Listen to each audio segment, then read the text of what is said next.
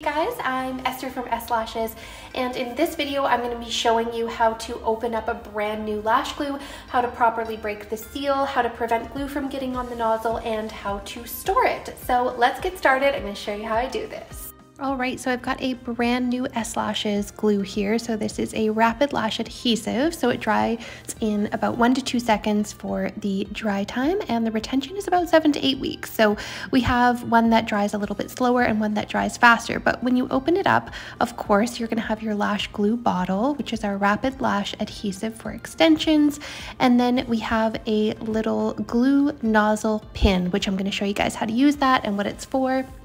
And then a lot of lash glues will also come with a second nozzle in case something happens to yours. You need to change it out and a little silica gel package. So we've got our glue there and then we have our nozzle pin which we're going to be using to shake the glue if we don't have a glue shaker and to break the seal because all glues should be sealed when they arrive. Now for the second nozzle, sometimes your nozzle gets destroyed from the lash glue so you can actually change it out. And the silica gel pack is gonna help keep it fresh, so do not throw away that silica pack. Now, first thing we're gonna do is remove the cap from the lid and that is completely sealed as you can see there. There's no glue in the nozzle, nothing like that. You don't wanna shake this before you go ahead and do this. You wanna break the seal first before you shake it. Shake it, sorry. So um, here's where that little glue nozzle pin comes in handy. So I'm just gonna insert that and that is gonna break the seal. So just use a pretty firm pressure there to get that into the nozzle. And then when we're removing, you can use a glue shaking device if you have one of those. If you don't, you can shake your glue by hand. So glue, when you're first opening it or you're starting the day, you'll want to shake it for a full two minutes if you don't have the machine. So make sure you're shaking that from side to side and not up and down because if you shake it up and down, the glue is just gonna like explode out of the nozzle. It's gonna create a huge mess. It's gonna waste your glue and it could even ruin your nozzle. So Shake it side to side.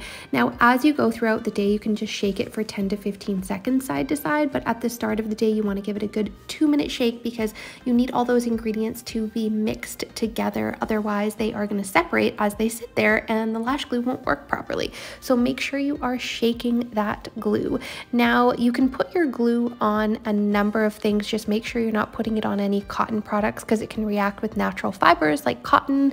Um, so I'm gonna use a pink jade stone stone here. Any kind of jade stone or rose quartz would work.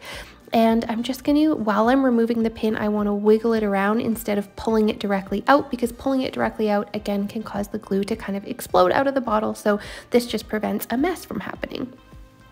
Now, if there is any mess, you can use your adhesive nozzle wipes, but I also use them to burp the lash glue. So if there's a little bit of air trapped in there, you just squeeze that air out and wipe it on a lash glue nozzle wipe.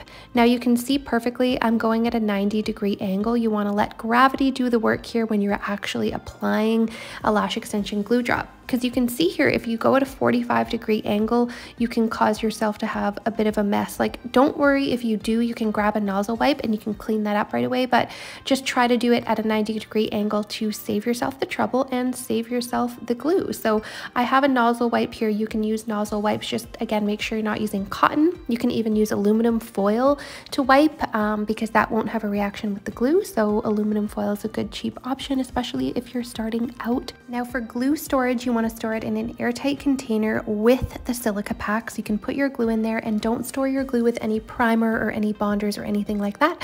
Just store it with other glue and make sure you're sitting that upright, not on its side and out of sunlight. So here's a few more satisfying glue drops. And guys, if you have any questions, please let me know in the comments below. And if you like this video and you want to see more videos like this one about everything lash related, just make sure you hit that like and subscribe button below.